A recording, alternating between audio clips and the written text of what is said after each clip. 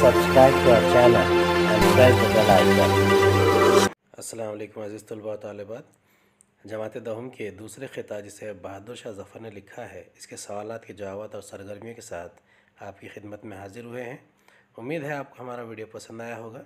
अगर हमारे वीडियो पसंद आते हैं तो इसे लाइक कीजिए, शेयर कीजिए और हमारे चैनल को सब्सक्राइब कीजिए।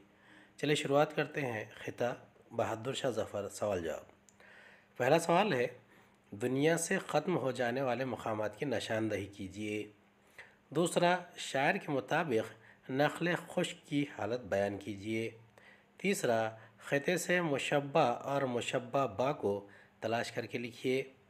चौथा, बहादुर शाह ज़फ़र के ख़ते का मरकज़ी ख़्याल तहरीर कीजिए। चलिए शुरुआत करते हैं। दुनिया से ख़त्म हो जाने वाले मकाम दुनिया में से ख़त्म हो जाने वाले मकाम कौन कौन से हैं? एक जंगलात, दो शहर और तीसरे जाओ जिसका ज़िक्र शायर ने अपने ख़त्े में किया है। एक जंगलात, दूसरा शहर और तीसरा गाँव। शायर के मुताबिक नखल खुश्क की हालत, जिसका जवाब है, नखल खुश्क सूख कर बेजान हो गया है। इसके पत्ते झड़ चुके हैं। अब सिर्फ़ लकड़ी की शाखें हैं, जो ना सूरज की किरणों को रोक सकती है और ना ही दरख्त तले छाँव कर सकती है। चलिए अगला सवाल देखते हैं। मुशब्बा और मुशब्बा बा। इसका जवाब है, बन शहर और गाँव के निशान मुशब्बा है। मुशब्बा क्या है? बन शहर और गाँव के निशान, ये क्या है? मुशब्बा है। और इनके पाँव के निशान से तजबी दी गई है।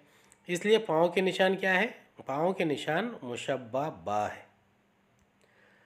बहादुर शाह ज़फ़र के ख़त्े का मरकज़ी ख़्याल। जवाब, ज़माने के इनकलाबात रोए ज़मीन पर बेशुमार चीज़ों के निशानात मिटा देते हैं।